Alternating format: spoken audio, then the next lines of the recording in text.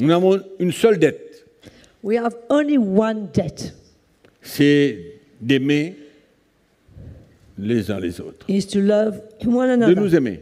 to love each other. Il n'a pas tout accompli pour nous laisser libres de faire ce qu'on veut. Il a tout accompli pour nous amener en lui, pour que nous aussi, on arrive à obéir.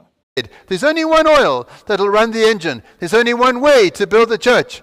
There's only one gospel, and that is Jesus Christ and Him crucified. Je le sais, et on sait que chacun de nous, on a un don. Et c'est ça qui est merveilleux, c'est d'arriver à découvrir ce don, à découvrir ce talent. He is in control. He knew and he has prepared works for each one of us and he has prepared an eternal kingdom. The goal is heaven.